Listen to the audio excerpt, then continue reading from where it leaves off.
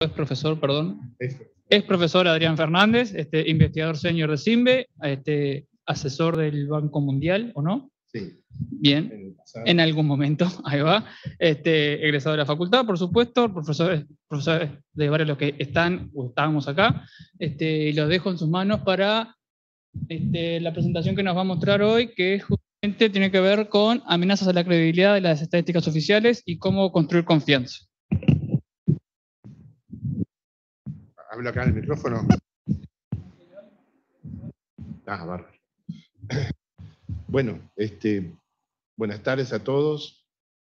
Me siento muy, este, muy contento y muy honrado por, por esta invitación a participar en las charlas del, del programa de, aniversario del, del em, dentro de, la, de, mi currículum, que recién muy, muy, eh, muy generosamente mencionaba, tengo que agregar el, haber sido director del Instituto Nacional de Estadística por unos dos o tres años, ahora no recuerdo exactamente las fechas, se viene con la edad, este ya le va a pasar a ustedes también, pero por alrededor del 96 este, fui director del Instituto Nacional de Estadística, habiendo sido previamente funcionario, ¿no? Eh, eh, arranqué en, en, la división de estadísticas económicas, calculando los índices de precios de consumo, cosas por el estilo, y en esa fecha que mencionaba, llegué a ser director.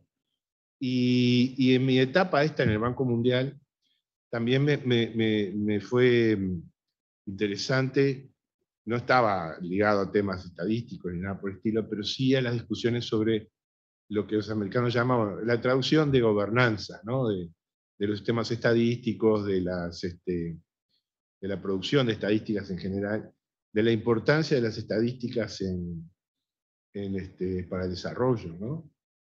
Quizás nosotros acá en Uruguay no nos damos cuenta, pero después cuando uno mira a otros países del mundo, digamos, con mucho menos desarrollo estadístico que nosotros, se da cuenta la, la, traba enorme que significa no disponer de datos básicos, ¿no? Para, para, no, ya para lo que hablamos tanto los economistas, de las decisiones de los agentes privados, los empresarios, de inversión, etc., sino sencillamente cómo, cómo llevar adelante un programa de escuelas, por ejemplo. Este, para conocer bien dónde están las demandas más urgentes, etcétera, se necesitan estadísticas.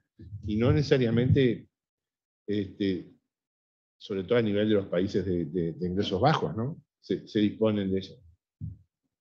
Bueno, entonces, la, idea entonces es, eh, queremos eh, tocar varios puntos si se quiere. Uno de ellos es eh, la percepción de que a nivel global, quizás menos en, Uruguay, Uruguay sea en ciertos aspectos una, excepción, pero sí claramente en otros países, tanto en desarrollo como desarrollados, se observan amenazas a la credibilidad de las estadísticas oficiales. Eh, y también, o sea, estadísticas públicas, también privadas, eh, en algunos casos debido a los errores grandes que ustedes han, escuchado de las encuestas de opinión pública, preelectorales, etc. Pero hoy no, me, quiero concentrar en las, encuestas, en las estadísticas públicas. Entonces, se observa una, creciente pérdida de credibilidad, lo que pone en peligro esos efectos positivos que tiene un sistema estadístico confiable. Entonces, la idea es discutir algunos puntos de diagnóstico, eh, las, incluyendo algunas de las razones por las cuales esta, esta, este, este, cambio de la percepción de la población en general este, está sucediendo, y para pasar a hacer algunas reflexiones, de, ahí sí, de un punto de vista muy personal, me voy a apoyar en algunas, en algunas recomendaciones y algunas, algunos este, eh, artículos que me, sirvieron de inspiración, pero reflexiones muy personales sobre cómo podemos ayudar a construir credibilidad en las estadísticas públicas. Eh, el enfoque mío no, es, eh, es mucho más, insisto, de gobernanza que del punto de vista de la metodología estadística estrictamente. No, no vamos a hablar de, diseños muestrales, cómo lograr bajos niveles de error, etc. Eh, eso está sobreentendido, son herramientas que conocemos, que a, veces las podemos aplicar, a veces no, dependiendo del presupuesto, de muchas razones, pero yo me quiero referir a la otra, a la parte siguiente en el proceso de producción, difusión y utilización de las estadísticas. Bien, entonces la idea es tocar estos seis puntos, este, por qué importa la credibilidad, qué está pasando hoy, por qué observamos amenazas a la credibilidad ¿Cuáles pueden ser brevemente algunas de las razones para esta desconfianza creciente? Ese, ese es mi punto, ¿no? ¿Cómo mejorar la credibilidad? Y ahí me voy a, dividir en dos partes, lo, que es la visión más, llamémosle, tradicional, este, que creo que un buen ejemplo son el decálogo aprobado por Naciones Unidas en 2014 sobre cómo debe ser la producción de estadísticas. ¿sí? Esa es la forma, si se quiere, más tradicional de enfocar este tema de la credibilidad. Yo me quiero referir eh, a otras, otras, este, otros criterios, otro abordaje, que privilegia el punto de vista no de los, de los productores o de la producción de estadísticas, sino más bien de la demanda, ¿no? de cómo lo ven los, los usuarios. Y entonces, de ahí son este, este quinto punto de otras acciones. Entonces, comenzando con el primer punto. Eh, las estadísticas oficiales, en principio. Perdón, eh, Adrián, perdón que te... Hola, acá Alejandra Marroy. Eh, me parece que acá en el Zoom no se ve pasar la, pantalla. Sabes que si podés volver a compartir, porque ah. vemos la, la, primera pantalla. ¿Y por qué puede ser eso? No tengo ni idea, capaz que volver a hacerlo a ver si ahora funciona. Perdón. A ver.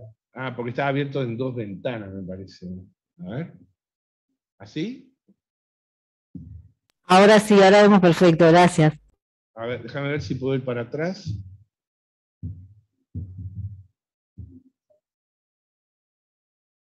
¿En dónde? Ahora.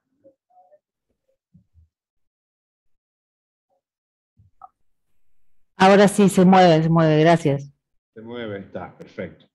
¿Y cómo hago para, ir para atrás ahora? Ahí está, perfecto. Muy bien, entonces decía, vamos a tocar estos seis puntos y comenzando el primero, entonces, ¿por qué importa la credibilidad? Y existe consenso, no, no hay discusión sobre este punto, de que las estadísticas son un bien público, ¿no?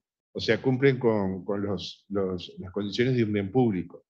Este, eh, inclusive se argumenta que son bienes públicos globales, es decir, que el efecto, el efecto de, derrame, digamos, el efecto de, expansión que tienen los bienes públicos, en el caso de las estadísticas también se traslada fuera de fronteras. O sea, disponer de buenas estadísticas del PIB para Uruguay obviamente tiene una ventaja o tiene un efecto positivo sobre la economía, los, los, agentes en el país, pero también de agentes y, otras personas fuera del país. Bueno, son bien conocidos los, los, las características, los beneficios, ¿no? Eh, estadísticas confiables contribuyen a, las decisiones de los agentes económicos y a la formación de expectativas. Eh, son instrumentos claves para el reajuste de ingresos, si pensemos en el caso de Uruguay, usamos el IPC para este, reajustar un montón de contratos, entre ellos contratos laborales, hay, monedas, este, contratos que, se, hacen directamente en monedas indexadas al índice de precio del consumo, al índice de salarios, etcétera, etcétera. También hay, hay un efecto sobre la producción. La credibilidad contribuye a mejorar la calidad de las estadísticas. En la medida en que un sistema estadístico está produciendo, este, eh, tiene estadísticas de buena calidad, los, eh, encuestados tendrán a ser más eh, favorables, digamos, más abiertos para contestar las encuestas, etcétera, etcétera. Bien. Se pone mucho énfasis en el tema de la credibilidad de las estadísticas y sus efectos sobre aspectos políticos, en particular sobre el proceso democrático. Eh, las estadísticas han sido consideradas o son eh, están consideradas un insumo fundamental para el proceso democrático, arrojando luz en los debates y en las discusiones, este, en la medida en que los datos sean aceptados, sean creíbles para los distintos este, participantes de este debate, ¿no? No importa cuál es su posición política.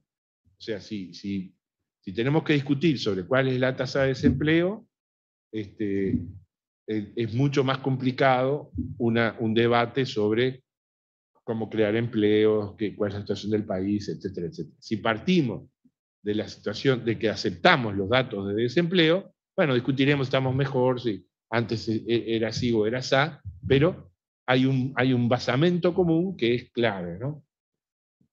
Y acá voy a citar a, un trabajo de, que fue director del, INE de Chile, este, Aguilera. Al final de la presentación ustedes van a tener los links a los, a los distintos documentos que estuve manejando. Este, que es muy, eh, tiene un punto de vista eh, claramente del lado del productor de estadísticas, este, con una, con una resaltando de, muy claramente los, la, necesidad de contar con, estadísticas creíbles para, eh, como insumo de este proceso de debate, de, este proceso de, construcción democrática. ¿no? Él inclusive va más allá, habla de que las estadísticas, estadísticas creíbles, pero estadísticas de buena calidad, es un elemento fundamental para el desarrollo, desarrollo económico y social de un país. Este, es una opinión interesante. Eh, puede ser que, en todo caso habría que matizarlo, puede ser una condición necesaria, pero claramente no es suficiente. Así como decíamos recién que eh, a nivel global, en varios países, hay, grandes falencias en estadísticas, también se da la situación contraria. Países con niveles de desarrollo muy bajos tienen muy buenas estadísticas que heredaron eventualmente en su periodo colonial o, como fuere, y eso no necesariamente ha sido un impulso para el desarrollo. Bueno, esto entonces, eh, la motivación de por qué es importante la credibilidad. Ahora, ¿qué está, ¿qué está pasando hoy? Se observan efectivamente amenazas a la credibilidad? Bueno, el primer punto es que no, no, en general no hay estadísticas confiables sobre cuál es la confianza en las estadísticas. Parece medio este, una ironía las palabras que estoy diciendo, pero hay, hay, hay pocos casos. Eh, hay uno que es paradigmático, que es el caso del Reino Unido, este, y los americanos, por ejemplo, los Estados Unidos, tienen distintas encuestas de satisfacción de usuarios, cosas por el estilo, pero no necesariamente enfocadas a este punto de la credibilidad estadística. ¿no? Eh, no es sencillo, evidentemente, porque una de las preguntas que uno puede hacerse es, bueno, muy bien, pero precisamos que, que qué actores este, tengan credibilidad en las estadísticas. Por ejemplo, eh, hablando de estadísticas económicas, eh, se ha insistido que es muy importante que los, los inversores, los empresarios, los agentes económicos en general este, tengan confianza en esas estadísticas para poder tomar mejores decisiones de inversión. la inversión extranjera, por ejemplo, este, en muchos casos, uno de los puntos claves de su, de su lista de condiciones para erradicar una inversión es disponer de buenos datos este, sobre el país en cuestión. Eh, pero en última instancia, más allá de que nosotros podemos pensar la credibilidad eh, enfocada hacia distintos grupos, lo que importa es la percepción general. La percepción general de las personas, los ciudadanos, digamos, sobre las estadísticas. Y acá hay un punto interesante. ¿En qué medida es posible disociar o separar lo que puede ser la confianza de la gente en las estadísticas de lo que puede ser la confianza de los agentes de las personas en la acción del gobierno en general. ¿Sí? Ustedes recuerdan esas, las encuestas estas que hacen sobre, bueno, ¿qué opinión tiene usted del Poder Judicial, de, la policía, de los militares, de la iglesia, etcétera, etcétera? ¿no? O sea, la pregunta es, si, si la gente no, no tiene confianza en el, en el gobierno, ¿puede igual tener confianza en las estadísticas que este gobierno produce? Bueno, no es sencilla la respuesta. Y, la confianza de las estadísticas oficiales tenemos que ponerlas en este marco, ¿no? Este es el caso de Estados Unidos, pero quizás puede ser aplicable a otros países, en particular desarrollados. Este es el porcentaje de respuestas que dicen que, de, eh, de, encuestas hechas a ciudadanos americanos, estadounidenses, que le preguntan si tienen confianza en que en el gobierno de Washington, que está haciendo lo, lo correcto eh, siempre o por lo menos la mayor parte del tiempo. Y a principios de los 60 estaba en 73, llegó a estar en 77%, o sea, casi 80% de la gente pensaba que el gobierno eh, siempre o la mayoría de las veces hacía las cosas correctamente, y hoy se encuentra en un 20%. ¿sí? Entonces, es muy difícil, eh, en este marco de descrédito del gobierno, de, mala percepción que tiene la gente del gobierno, que tenga una buena percepción sobre las estadísticas. Esta es otra pregunta de, esta encuesta de, percepción. Entonces, se le pregunta a la gente si considera que el gobierno federal de Estados Unidos intencionalmente retiene información importante del público, que podría ser eh, fácilmente distribuida o difundida. Y de vueltas, 70%, no hay mucha diferencia entre la, encuesta del 22 y del 18, de la gente piensa que, efectivamente el gobierno federal está reteniendo o, guardando información que no quiere difundir, aunque podría hacerlo de manera este, fácil, ¿no? O sea, no es información de defensa, cosas por el estilo que uno podría razonar que obviamente la confidencia es importante. Tenemos un artículo del, del, yo traje a colación acá un artículo del Washington Post del, de octubre del 16, donde del 16 que era, era el año de las elecciones entre Trump y, Hillary Clinton. ¿no? Entonces, los estadounidenses, o al menos un, grupo de, estadounidenses, ya han tenido suficiente, en el sentido que ya están colmados, digamos, de los expertos los, datos, los hechos, las matemáticas, este, desconfían de todos ellos. Eso surge, ahora enseguida vamos a verlo, de otro, este, eh, de otro, eh, de otro investigación, otro survey, donde, insisto, la gente muestra su eh, desconfianza, ya no solo con las estadísticas, sino también la opinión de expertos. Y eso creo que de alguna manera también lo vimos durante la pandemia, ¿cierto?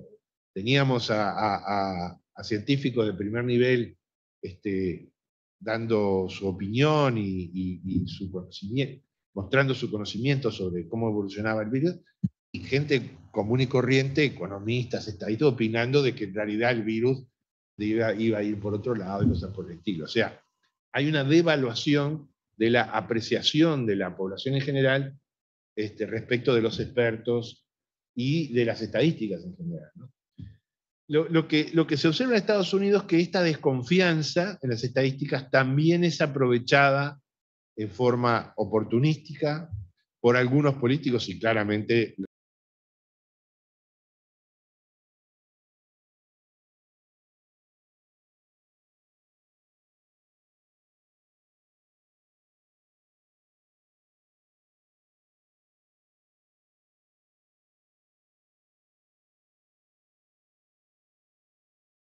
Hola.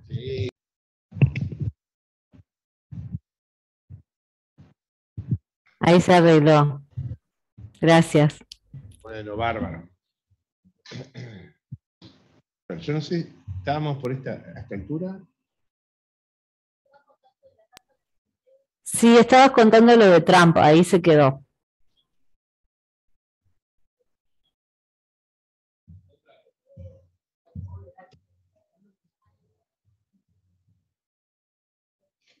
Ahí está. Bueno, este, no, lo que decía es que esta, esta desconfianza en las estadísticas, eh, uno de los factores que probablemente ha jugado es que algunos actores políticos han estado eh, de alguna manera incentivando esta desconfianza. ¿no? Eh, bueno, y, esto resultó claro en, otro estudio que se realizó también en el 2016, donde la cuarta parte de los, de los, de los estadounidenses no confiaban en esa estadística. Pero se distribuía la mitad de los partidarios de Trump y un, número relativamente pequeño de los partidarios de Hillary Clinton. Bien, no es, no es general este punto y, si podemos ver alguna buena noticia, eh, hace un poquito tiempo se difundió en el Reino Unido una encuesta que se realiza periódicamente sobre la confianza pública en las estadísticas oficiales. Y realmente muy buenos números, ¿no? Más de un 80%, en términos generales, más de un 80% de la, de la población confía en las estadísticas, confía en que la, Oficina de Estadística va a, mantener confidencial la, la, información cuando les toca hacer entrevistados, en fin. Eh, eh, un ambiente muy favorable para la oficina de estadística. ¿sí? Eh, la confianza, y esto es interesante, ¿no? En la oficina de estadística fue tan alta que, que inclusive fue mayor que la del propio gobierno, este, la, tesorería y, otras este, instituciones públicas. Pero también tiene sus, ah, eh, o sea, en el Reino Unido tenemos luces y sombras al mismo tiempo, ¿no? Si cambiamos y pasamos a un tema más específico, es un tema de, una fuerte polarización eh, a nivel de la opinión pública, como es el tema de la inmigración, que fue una de las claves de la, discusión del Brexit, ¿no? En el 2016, eh, más de la mitad de la población considera que el gobierno está ocultando datos o, la verdad, entre comillas, sobre las cifras de inmigración. Y acá, y, en esta segunda parte de la transparencia, hay un punto que me parece que es bien relevante. Eh, para algunas personas, para estos escépticos, digamos, sobre las estadísticas, consideran, eh, consideran que es, es un elitismo es, apelar a, una actitud de élite, el, recurrir a evidencia cuantitativa. O sea, la gente está confiada en, cosas que puede comprender, entre comillas, como pueden ser relatos o fotos o, vivencias cualitativas, si se quiere, sobre el tema de inmigración.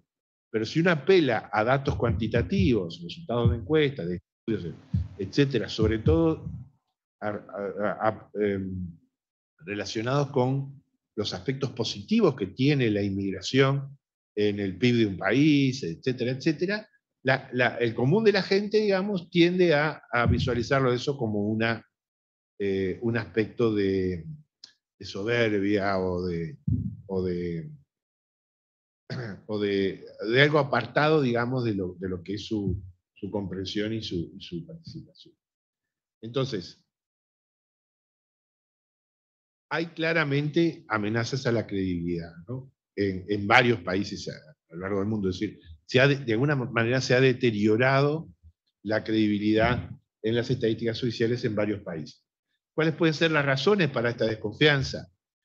Bueno, eh, eh, una de las razones claramente este, puede ser, puede suceder que eh, episodios de manipulación de estadísticas en el pasado hayan generado desconfianza de la población sobre las, estadísticas. ¿no? Eso puede ser una de las causas. Eh, la otra es este, eh, personas ya con eh, actores que con mucha mayor especialización y, conocimiento, ¿no? necesariamente métodos estadísticos, pero este, pueden observar debilidades de las metodologías estadísticas en ciertos casos.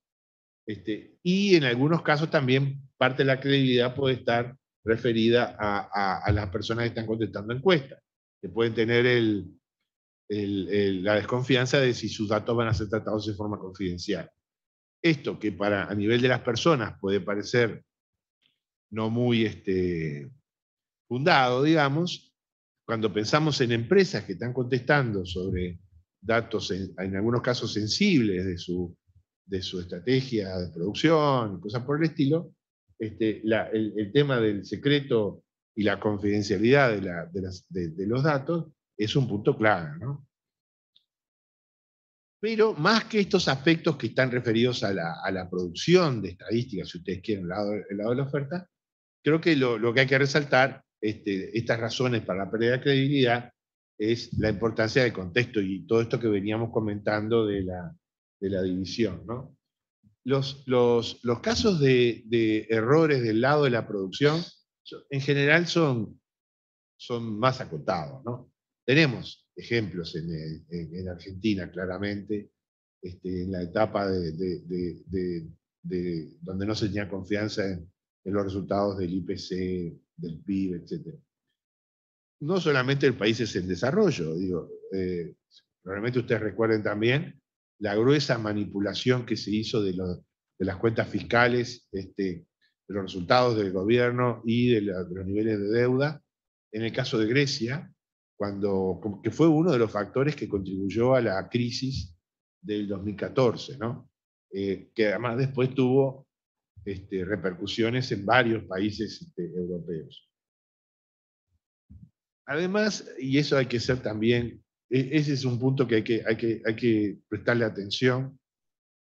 Muchas veces nosotros, como productores de estadísticas, tomamos como algo natural la aplicación de los criterios y las recomendaciones internacionales, por ejemplo, este, cuando no necesariamente esas recomendaciones pueden ser claramente entendibles y compartibles por el público en general. Me refiero, como ejemplo, una anécdota cuando yo estaba en el, Instituto de Estadística, se estaban preparando el censo del 2016 y en algún momento se decidió publicar el, formulario para, para, justamente para tratar de lograr a través de mayor transparencia, etcétera, este, mayor receptividad en la gente. Y la pregunta de empleo, como ustedes probablemente sepan, la pregunta de empleo en realidad se le pregunta, ¿trabajó usted la semana pasada? ¿Y cuánto trabajó? Bueno, al menos una hora, ¿no? Esa es la definición de la OIT, que se sigue en Uruguay de hace décadas, ¿no? La gente quedó indignada de que el Instituto de Estadística estuviera considerando ocupados a alguien que había trabajado una hora la semana anterior. Tuvimos que armar toda una estrategia de, mostrar las frecuencias y prácticamente no había gente que ah, hubiera trabajado menos de cinco horas, digamos, ¿no? Era, era, era, era este, absolutamente marginal. Pero nosotros preguntábamos así para adecuarnos a, lo que eran las recomendaciones este, internacionales. Entonces, ahí en estos casos este, es necesario, creo, una tarea con mucho cuidado, ¿no? hay que pensarlo muy bien en este punto porque puede llegar a ser hasta contraproducente. Este, de la misma forma, algunas definiciones que se toman, es decir, resulta poco entendible, por ejemplo, el hecho de que eh, el trabajo eh, de la mujer, o, no importa de, qué género, ¿no? en, el, hogar, para los cuidados del hogar, no, no computa para el PIB, y, sí, sí se paga en forma salarial. ¿no? Este, entonces, todas estas que son definiciones y que obviamente hay que respetar, porque así podemos comparar estadísticas entre países, tienen que ser cuidadosamente eh, explicadas, porque si no... Bueno, eh, acá es de vuelta el, tema de la importancia del contexto. Eh, a veces se plantea esta, esta, este tema de la credibilidad, como recién veíamos en el caso de, de Trump, ¿no? Este, en el sentido de que quienes no no fomentan o no aceptan, digamos, las actitudes, las estadísticas oficiales, tienden a ser, entre comillas, populistas o populistas de derecha. Este, y eh, acá, acá hay un artículo de un diario este, eh, inglés muy famoso, donde se plantea que, de vuelta, los que intentaban o, promovían, digamos, la, el descreimiento de las estadísticas eran más bien personas de derecha. Yo creo que no, debe ser tan fácil eh, eh, definir solamente desde un, desde un lado del, del, espectro, digamos, se critica y del otro lado se acepta pacíficamente, pero bueno, quería este, mencionar este punto también. Bueno, ¿cómo mejorar la credibilidad? Bueno, acá, eh, acá hay una respuesta tradicional ¿no? para mejorar la credibilidad que yo les llamé desde el punto de vista de la oferta. Es transparencia, gobernabilidad, y, el ejemplo claro son los principios que, que, lo, puse en inglés, discúlpenme, pero son los principios conocidos de, Naciones Unidas, de la Oficina de Naciones Unidas, que, fueron aprobados formalmente por la Asamblea General en 2014, pero que ya tienen, eh, como habían sido resueltos antes, ya tienen casi 30 años de, vigencia. Y, constituyen el decálogo, el decálogo perfecto sobre cómo debe pensarse la producción de las estadísticas, ¿no? cuáles tienen que ser los elementos claves en la producción de estadísticas. Pero el problema es que esa respuesta tradicional, cuidemos la transparencia, cuidemos la gobernanza, la independencia técnica, etcétera, etcétera, no necesariamente hoy es tan efectiva. Y ahí vuelvo a, ese artículo de Aguilera que les mencionaba. Eh, acá no se trata de que las estadísticas tengan buena calidad, o sea, por supuesto que sí, se trata de que las estadísticas tengan buena calidad, pero no solo eso. O sea, si nosotros pudiéramos armar una evaluación de las estadísticas, un indicador internacional, esto está tan de moda, no alcanza con tener un, puesto alto en el ranking. Se necesita que la gente confíe realmente en esas estadísticas. Por más que, sean, que sean excelentes desde el punto de vista de su, producción. Y es eso que dice Aguilera. Es la sociedad la que tiene el derecho a exigir una, una relación creíble con las estadísticas que se producen poner el foco del asunto solo de la perspectiva de los productores favorecerá un análisis que hará prematuramente medidas operativas. ¿sí? Cómo mejorar la producción, que no necesariamente considerarán las orientaciones que le darán mayor efectividad desde el punto de vista de la difusión y la credibilidad a nivel de, la, de ciudadanía. En ese sentido, entonces, quiero, quiero pasar acá, ya para terminar con la charla, este, a, tocar algunas reflexiones sobre cómo mejorar la, credibilidad de las estadísticas. Partiendo de la base de que tenemos una buena calidad en la parte de la producción, ¿cierto? Tenemos una oficina y un sistema estadístico en general. Independiente técnicamente, este, con buena producción, con producción de calidad, pero ¿cómo hacer para, para lograr esa mayor credibilidad? en mi opinión, y quiero plantearlo como una reflexión y la posibilidad de intercambiar ideas con ustedes, hay que priorizar acciones para tres tipos de usuarios. Usuarios especializados, actores políticos y sociales y comunicadores. Por especializados me refiero a, bueno, obviamente, estadísticos, economistas, usuarios especialistas, digamos, de las estadísticas que se están produciendo, ¿no? cosa que normalmente la Asociación de Estadística y el INE en particular hace muy bien. ¿no sé? Se junta con, este, con, usuarios, eh, el, INE tiene una, relación hace muchos, mucho tiempo con eh, organismos este, universitarios, ¿no? el IECON o universidades privadas, etc. Entonces, de ahí el intercambio de información. Este, bueno, quizás haya que pensar en medidas un poco más sistemáticas para conseguir eh, retroalimentación de parte de los usuarios especializados sobre este, la producción de estadísticas y la, mejor difusión. Con los sectores políticos y sociales también hay que tener una estrategia este, eh, específica. Eh, el, INE, con, con, la dirección de Diego Agual, ha, tenido varias reuniones en, el Parlamento comentando los planes de la, dirección del INE y del sistema estadístico, etc. Yo creo que hay que pensar mecanismos por los cuales este tipo de, instancias sean más eh, permanentes, ¿no? sean más recurrentes.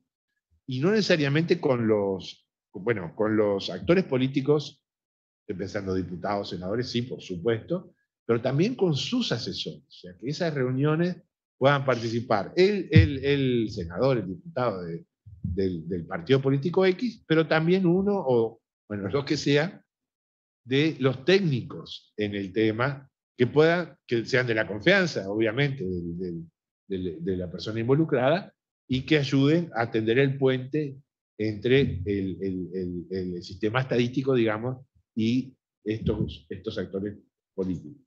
Lo mismo vale para actores sociales, ¿no? sindicatos, empresarios, etc. Con los comunicadores eh, hay que también tener una, actitud, yo diría, militante de formación este, con, ellos. ¿no? Eh, recuerdo el Banco Central tenía en su momento una serie de, de cursos dedicados a periodistas económicos, en el INE creo que en, alguna, en algún momento intentamos hacer algo, es posible que, estos últimos tiempos también se haya tenido alguna iniciativa de ese estilo. Este, los periodistas en general, mi impresión es que son muy abiertos para, para este, este tipo de eventos de formación y este, evidentemente pueden ayudar a mejorar la comunicación y la, la difusión de las estadísticas. Y en esa línea también creo que, eh, hay que deberíamos poner paños fríos en esa idea que existía cuando yo era director, por ejemplo, de que el, Instituto de Estadística tenía que contribuir a la alfabetización estadística de la sociedad. O sea, tratar de impulsar este, eh, instancias de comunicación, libros o, o folletos o, que contribuyan o, que ayuden a, un mejor entendimiento de parte de la sociedad en general de las estadísticas. Yo sería eh, cuidadoso en este punto porque, como, como, recién mencionaba, no, no, es tanto un problema de, de, desconocimiento de la gente, sino que a esta altura, en muchos casos, no necesariamente en Uruguay, pero lo que se nota es una actitud hostil hacia las estadísticas. Entonces, este, no, sé hasta qué punto vale la pena esos instrumentos que quizás tuvieron éxito o, cierto suceso en el pasado, pero creo que no necesariamente lo tendrían en, las presentes circunstancias. Eh, como segunda consideración, y creo que e, esto, esto sirve para las para, los, eh, para el sistema estadístico, ¿no? Hay que construir conocimientos sobre la credibilidad. Este, esta encuesta que hacen en, el Reino Unido, hay que pensar en algún tipo de replicación en, este país, en nuestro país. Es decir, no necesariamente por parte del INE, porque no puede ser juez y parte de, la, de, la, encuesta, pero bueno, este, por mecanismos de, contratación, en fin, con, los con institutos universitarios, como fuere, este, llevar adelante una encuesta que nos ayude a medir y sobre todo a ir generando una, un conocimiento a lo largo del tiempo de cómo está evolucionando la credibilidad. ¿sí? ¿En qué aspectos hay que poner más énfasis con la, en, términos de difusión, en la población general, etcétera? y después, como último punto, y con eso estoy cerrando, en términos de diseño institucional y, gobernanza. Eh, yo recuerdo cuando cuando recién entraba al Instituto de Estadística, hacíamos estos seminarios estadísticos nacionales, que era, eran, eran ejercicios interesantes, uno conocía a, las personas del, resto del sistema. Eh, yo participé en el seminario del 81, si no estoy equivocado, eh, pero eran ejercicios eh, donde faltaba lo principal, que eran los usuarios de las estadísticas. Veníamos los productores y, cada cual venía y aportaba su, pequeño pet project, digamos, a la lista de, actividades estadísticas desarrolladas. O sea, ¿qué quiero decir con esto? Que el tema de del diseño institucional importa, por supuesto, eh, la, independencia técnica del, Instituto de Estadística, en general el sistema estadístico importa, obviamente, pero ese punto no sé si es el más relevante hoy en día. Eh, no podemos pensar en un sistema estadístico gobernado desde los productores, eso no tiene sentido. Eh, y ahí claramente hay una tensión, porque el Instituto de Estadística, como, como el resto del sistema estadístico nacional, tiene que recibir los pedidos de, los usuarios, de sus legítimos eh, demandantes. Y sus legítimos demandantes me refiero al, en primer lugar, al sector público. El sector público puede necesitar estadísticas de determinado tipo, que tengan que ver con inclusión financiera, con aspectos de, género. Entonces, el, el gobierno tiene que estar en condiciones de plantear sus demandas al sistema estadístico. O sea que este tema de la independencia tenemos que mirarlo en un balance en términos, o sea, de independencia de independencia técnica, de cómo se realizan las estadísticas, pero no en cuanto a los sujetos y, a, los temas de llevar adelante.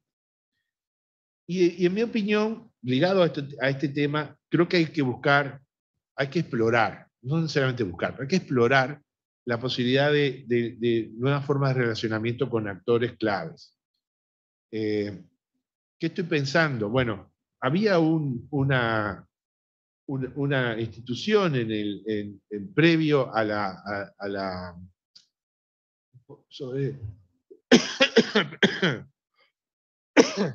perdón, principio de los 70, que era esta Junta Asesora de Estadística y Censos. Yo recuerdo algunos este, comentarios de Ariel Dabrie, que en aquel momento había sido director de la Dirección General de Estadística y Censo, estoy hablando a principios de los 70, ¿no?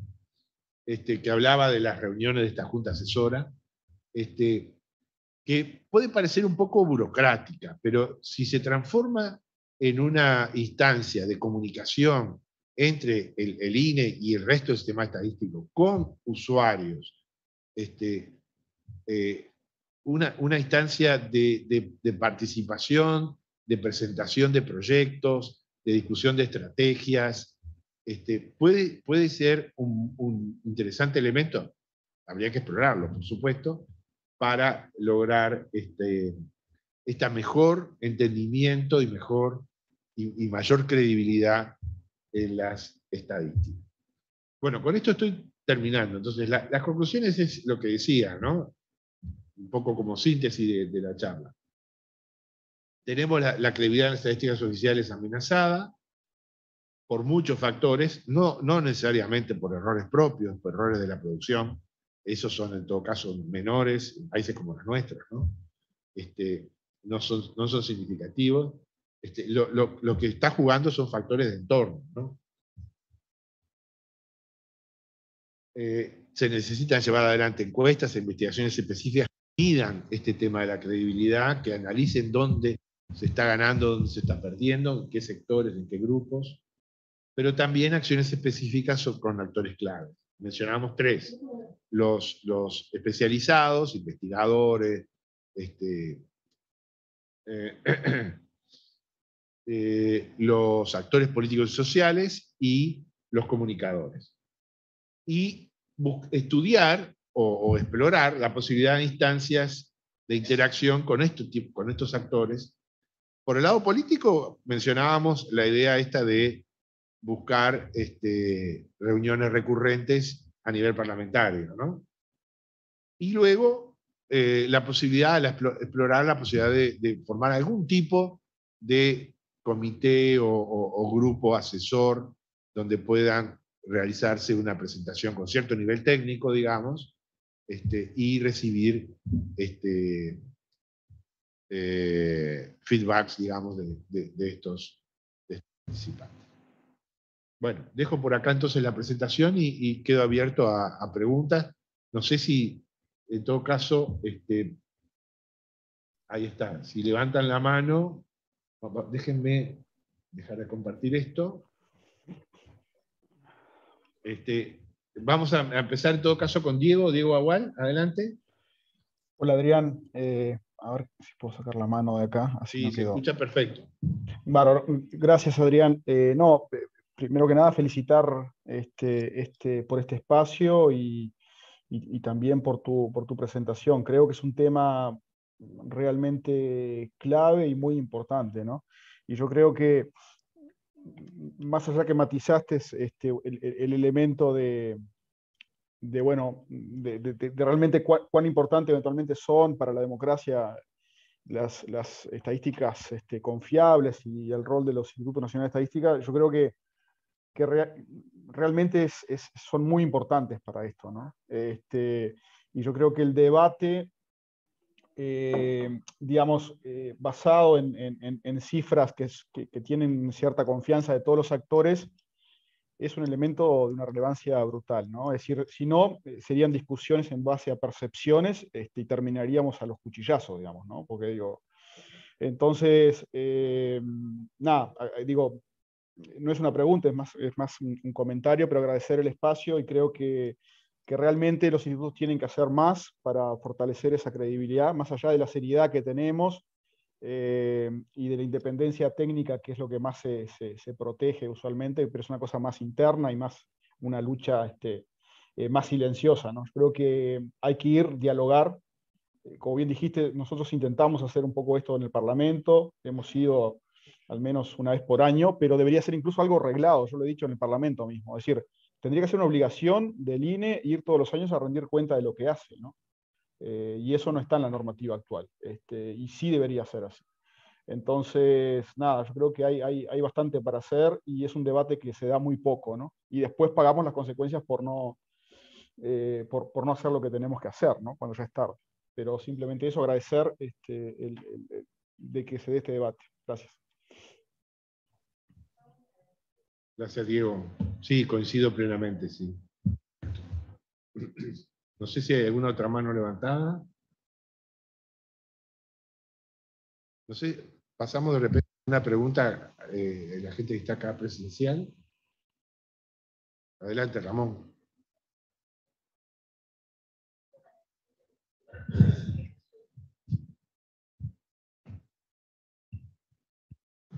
Eh, bueno, gracias Adrián por la, primero por venir y por la charla tal cual la, encaraste, que parece que mm, está bueno en el sentido de que eh, mostraste un panorama eh, que no sé si lo que hoy estamos acá, que en cierta forma estamos del lado de, la, de los consumidores, tenemos tan claro cómo es eh, en otras este, realidades esa tensión que se produce entre los que producen y los que consumimos.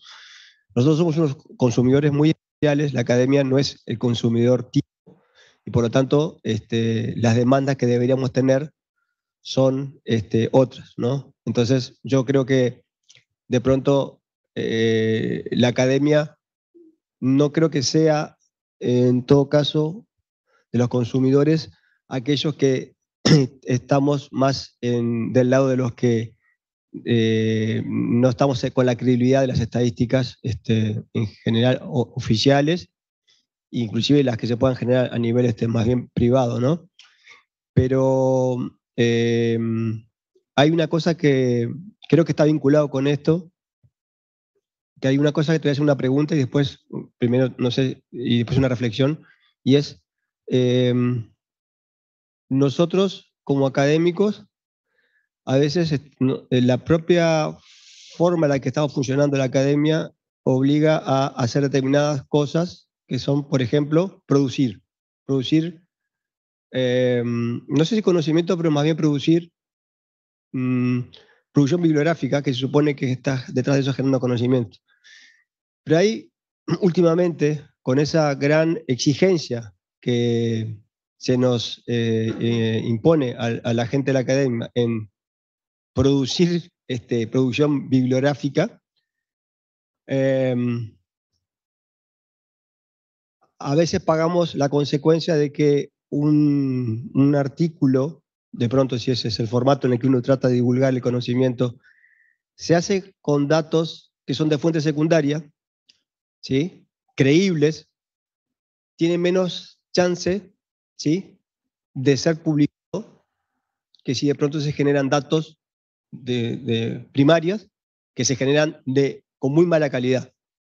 A lo que voy es, y en, los últimos años de la pandemia le hemos sufrido que pandemia por medio, había como casi una tentación de decir, bueno, yo agarro y pongo, elaboro un Google Form donde quiero estudiar determinadas cosas y que lo llene la gente que lo llene. Y por lo tanto se genera una masa de datos que no sabemos básicamente qué está queriendo este, decir.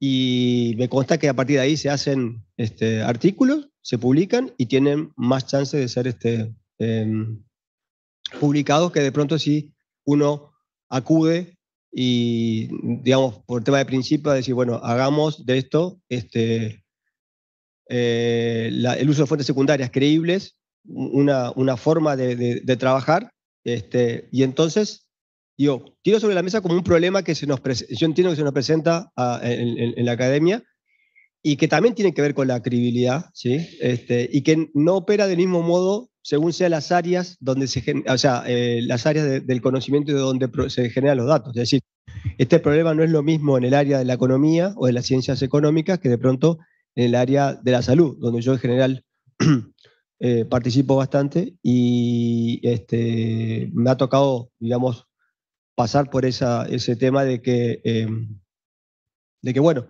eh, nosotros consumidores resulta que estamos, no, es necesario que nos convenza de que las estadísticas son creíbles, sino que en realidad, por otro lado, nos están impulsando a, generar estadísticas no creíbles por un tema, digamos, este, totalmente em, perverso de por cómo nos hacen funcionar en, la academia. ¿no? Es un, digamos, un comentario y del cual me hago, me hago este, responsable del mismo. Este, digamos, tanto como investigador como en este momento me toca estar en la dirección del instituto, de, acá del, del Y la otra cosa es, es más que una, una este, es como una pregunta que, creo que también tiene que ver con la credibilidad y es, ¿cómo es, capaz que tu experiencia, que hace mucho tiempo estás en Estados Unidos, el tema de, los datos abiertos, que creo que también tienen que ver, o sea, esta pregunta de pronto de la credibilidad este, no, es lo, no sería igual digamos, años antes, donde de pronto el tema de datos abiertos, que claramente eh, tienen que responder a una cierta, este, mm, digamos, eh, conciencia de que tienen que haber datos abiertos de los cuales este, mm, quienes quieran pueden usarlos, ¿sí? Como es un poco allá en, donde estuviste últimamente, allá en, en el norte. ¿está? Gracias.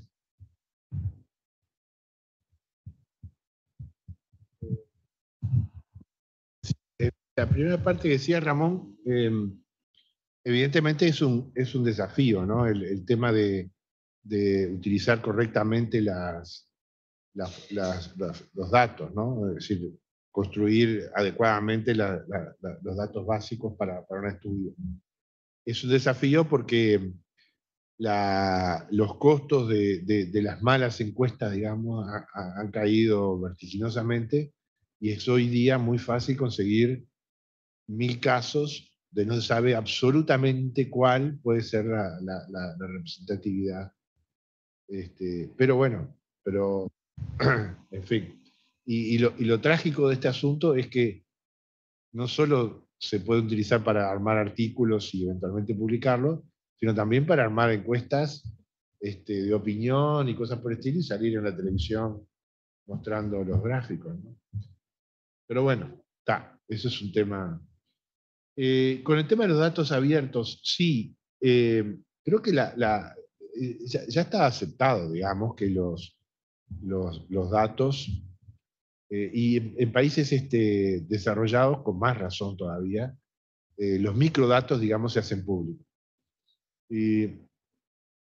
Lo, lo, que recién estamos tímidamente comenzando a hacer en Uruguay, que es mezclando datos de encuesta de hogares con datos de, la DGI, por ejemplo, de IRPF, este, eso es moneda corriente en, estos, estos, países desarrollados. Y son claves, porque ya sabemos que las encuestas de hogares miden mal este, los ingresos del, del, del, de decil o el quintil más alto. Entonces, si podemos complementarlos con los datos de la DGI, no significa que vamos a tener la, la, la maravilla, pero por lo menos van a claramente a mejorar este, esta información. O sea, pero hoy, hoy la discusión, me parece a mí, está planteada en términos de los del Big Data. Es decir, ya no, ya no es más el tema de poner a disposición del público los microdatos de las encuestas que sirvieron de base para calcular tal estadística, sino que la discusión es, bueno, van a poner este, eh, a disposición del público los datos minuto a minuto de la generación eléctrica y cosas por el estilo, ¿no? de, los, de los datos que pasan por el peaje, este, que tienen un, valor en cuanto a, información enorme. ¿no? Pero en fin, esa es hoy en día la discusión y, y, y, esa es una discusión que, y es una reflexión que tenemos que hacer acá en Uruguay, porque tenemos que aprovechar las, las malas experiencias y las buenas, ¿no? De otros países y, tratar de ver en, qué medida esas cosas se pueden llevar acá a Uruguay. No necesariamente va a afectar la credibilidad de eso, ¿no? Porque, bueno, será en todo caso una vía para mejorar la producción de esta eh, había levantado la palabra, ahí está, y, Silvia también, pero tengo a Juan Pablo, así que tengo a Juan Pablo, Juan Joyenet y Silvia Alma. Voy en cualquier orden, si no que vaya primero este, Silvia y Juanjo. Como quieran. Bueno, entonces, Juanjo. Bueno, de, de lo otra cosa. A mí, bueno. A ver, Juan Pablo, vamos a decir. Le voy a llevar el micrófono a Juanjo, si no, no escucha a nadie.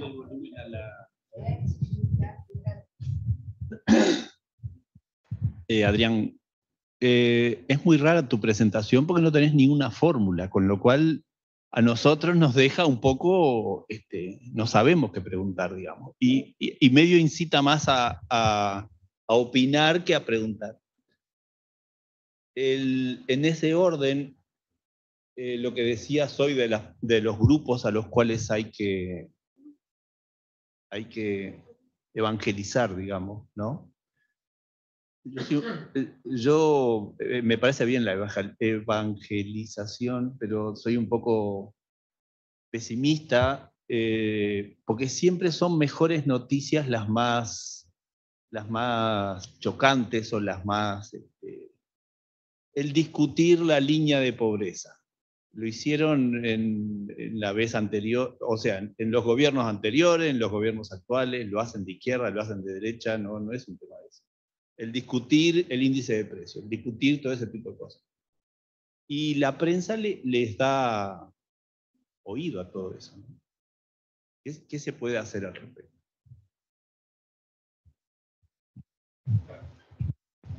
En realidad, yo tengo un objetivo más.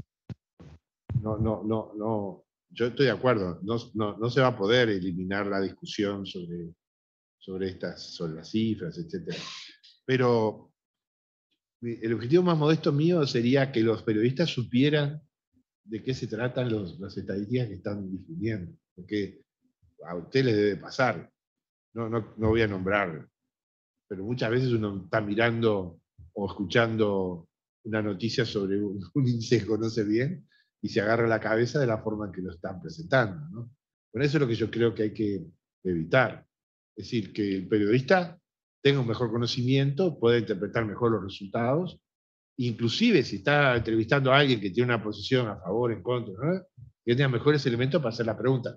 Si después la hace o no la hace, es un problema de ética periodística, pero por lo menos darle herramientas para que la persona este, pueda hacer mejor su trabajo, ¿no? Es, es eso.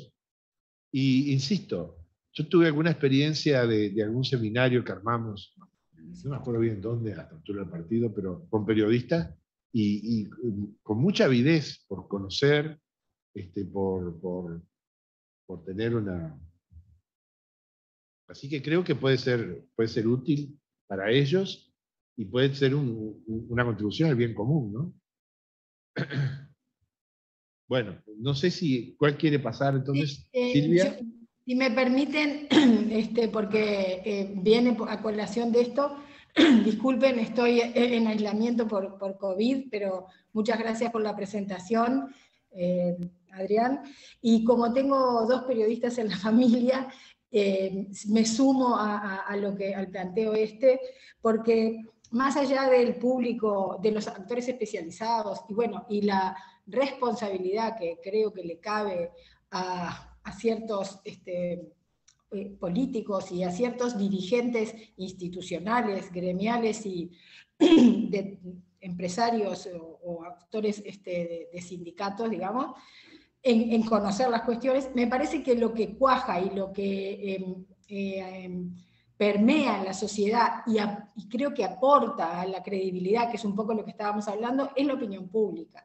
Y los constructores de opinión pública son los periodistas. Entonces, uno escucha lamentables declaraciones comparando este, este, indicadores de, de, periodos distintos que te lo enseñan en el primer momento que empezás a usar un índice. No podés comparar algo mensual con algo anual o algo semestral con algo anual, lo hemos visto. Eso por un lado, pero por el otro, esto que tú decías de los cursos, los seminarios, me parece que sería muy importante, porque si no, ¿qué pasa? Tenemos periodistas hablando de economía y de indicadores y de, de, las cuestiones que los indicadores nos dicen eh, sin saber. Y después los especializados haciendo intervenciones eh, públicas eh, para, en general, entrevistados en un, en un medio cualquiera, que como no saben comunicarse, la gente no les entiende.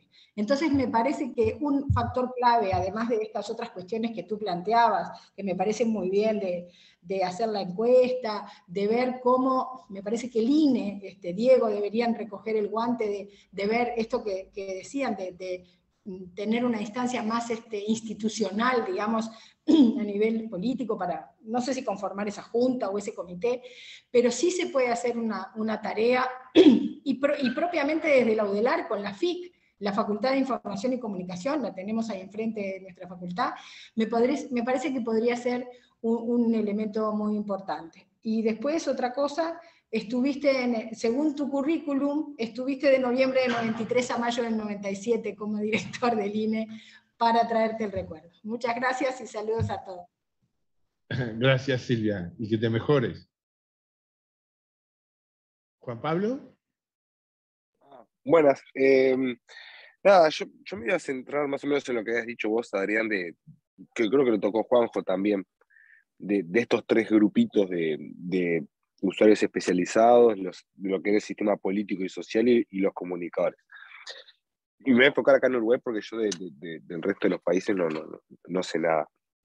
Em, y creo que también lo habías dicho, con los especializados, digo, acá al menos creo yo, de que no, no hay duda de la credibilidad de las estadísticas oficiales por parte de los usuarios. Y si las hay, bueno, creo que esa persona no es, no es un usuario especializado y pertenece a otro grupito que habría que sacar. Este, el, creo que el problema más grande que tenemos este, es, el, eh, son los es el sistema político, y sobre todo en los últimos tiempos, en donde va, creo que Silvia decía, digo, que se, comparan cifras antojadizas o se, o, se, o se afirman que hubo, no sé, por ejemplo, los líos esto que hubo con el, con el tema de la pobreza infantil en el último año, de que había bajado, ¿no? O lo que fuera. Y, esos actores políticos que hay de ambos lados, porque este, sí tienen gente técnica atrás, no sé si esos técnicos los deciden ignorar o, o qué, pero el, el, problema es que como INE o como Sistema Estadístico Nacional es, es una lucha perdida, porque no tenés la llegada que tiene un político, en el sentido de si mañana X senador o, X presidente pone algo en Twitter, por ejemplo, hablemos de Twitter, que, es, una, fauna eso, eh, no, hay declaración que pueda hacer ya sea el director del INE o, alguien de la academia diciendo, ah, esos datos no son tan comparables o, esa comparación es incorrecta, que, que logre este, eliminar ese daño que ya se hizo. Porque la gente, o sea, la masa, que, que no está en, esta, en este mundillo de las estadísticas, le va a creer siempre al político. Y para mí eso es como una lucha perdida. Y al menos lo veo yo así. Yo creo que eso cada vez va, a ir empeorando un poco más. Y, creo que los comunicadores, yo creo que han mejorado pila en, la parte cuantitativa y, y, no es, de, estos tres grupos, a mi entender, este, no, es este, no es el problema. Y vos dijiste hoy de que, de que sí, de que, de que el INE tiene independencia técnica, pero el INE, por, capaz que por, no sé cómo decir, por estructura, está dentro de OPP o, de presidencia. Entonces, hasta dónde es que uno tiene, no, no la independencia técnica, porque obviamente acá digo, yo te hablo como funcionario de línea ahora en este, en este, mismo minuto, las cosas las vamos a hacer siempre como los funcionarios creemos que son, porque somos la, gente de carrera acá. Este, pero nada, yo qué sé, si el presidente un día dice algo, dudo que el director de turno pueda decir el presidente está equivocado y no pase nada.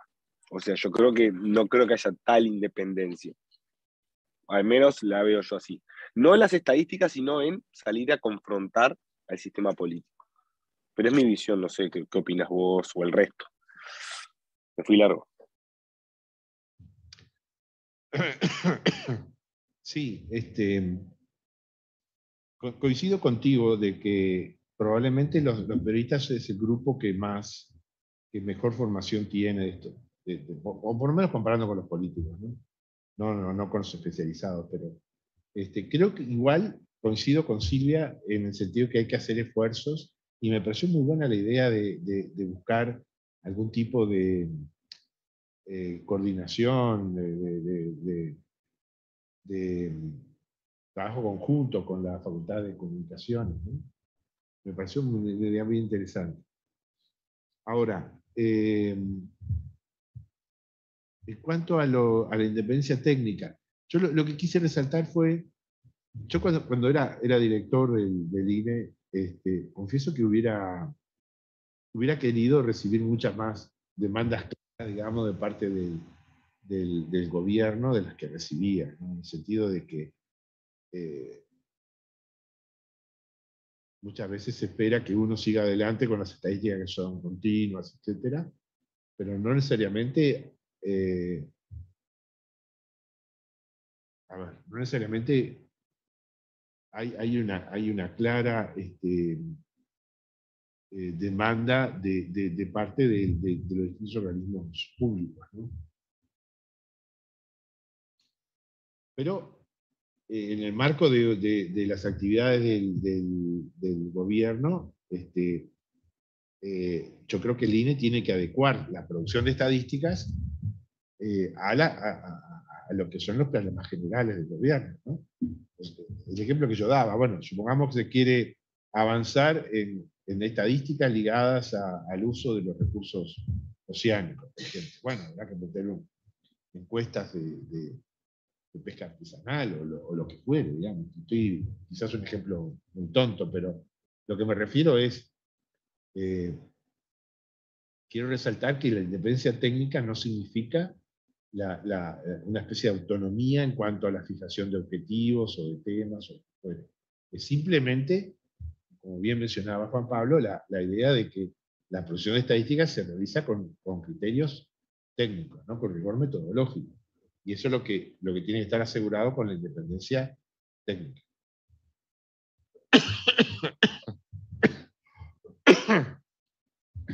Eh, Silvia ¿Tiene una pregunta?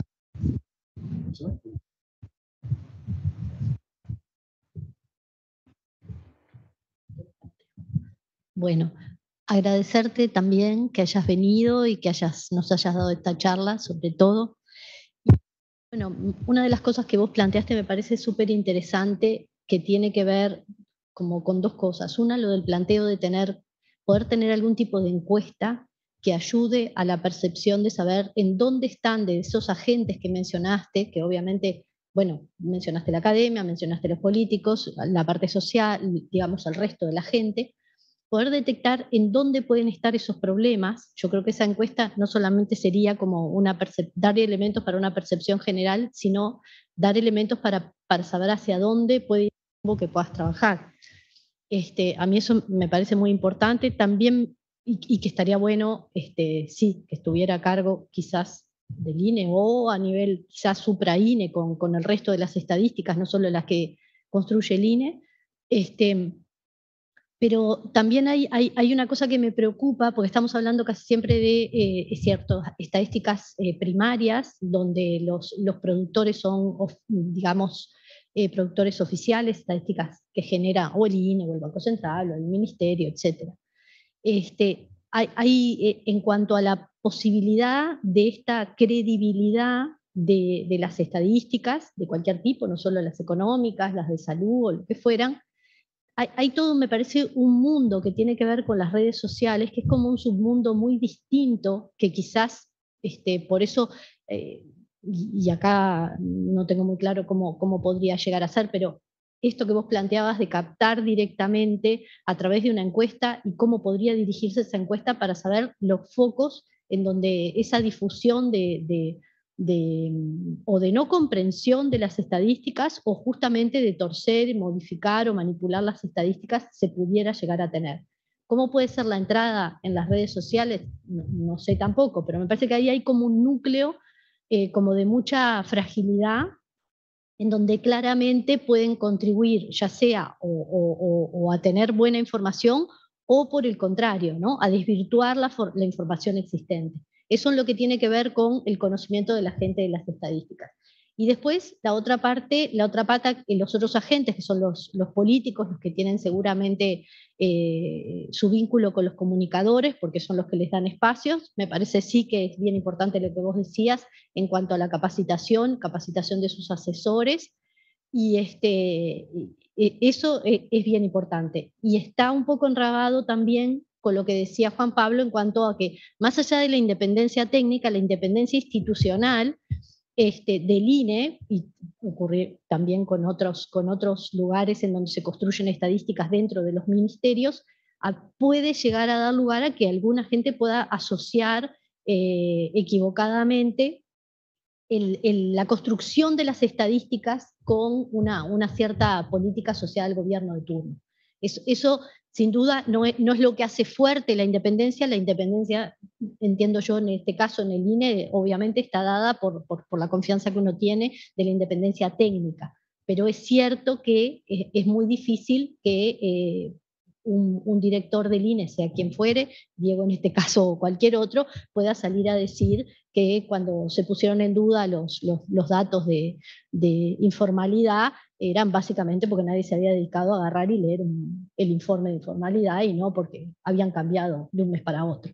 Bueno, es muy difícil decirle al presidente que está diciendo un disparate. Pero este, de hecho, eso se tira y después es muy difícil recoger, eh, digamos, eh, y, generar información correcta. Pero bueno, lo de la encuesta de la percepción sobre la credibilidad, me parece fantástico la propuesta.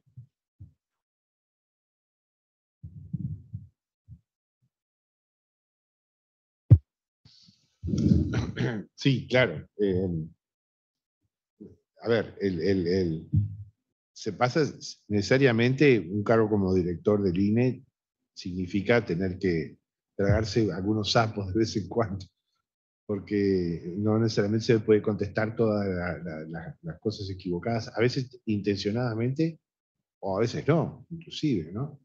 Que se dicen por ahí, pero bueno.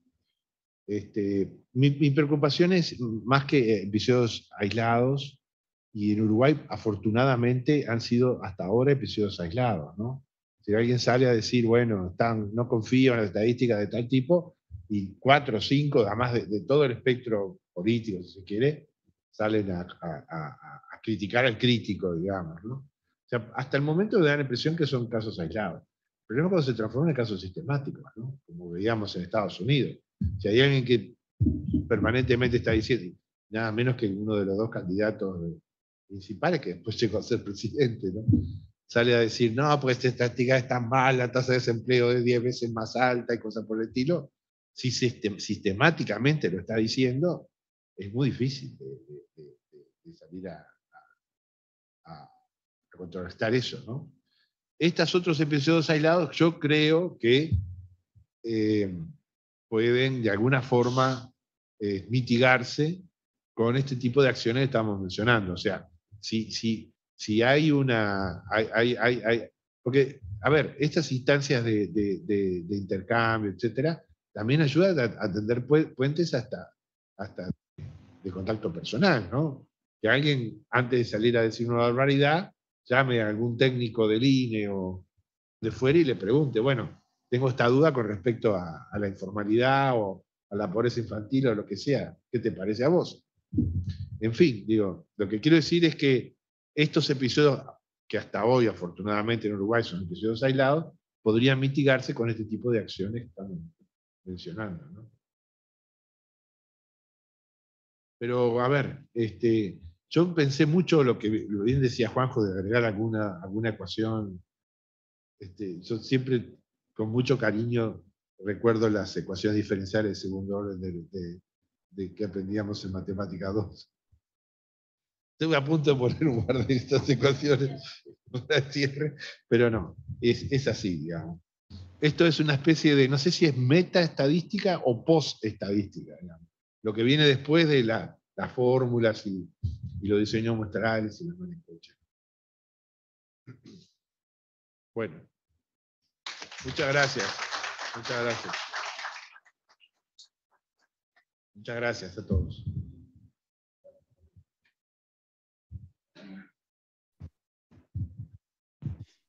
que según, corregime, este, Adrián, vos nos prometiste que tal vez esto este, haya, una, haya como una segunda parte, ¿no?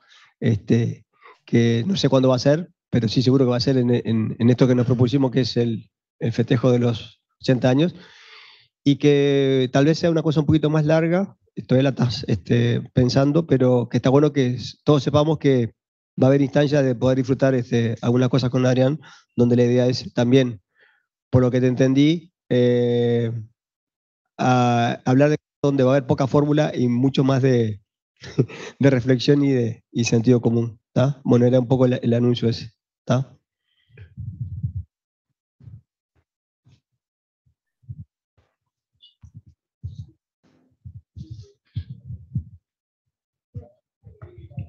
Ver, che.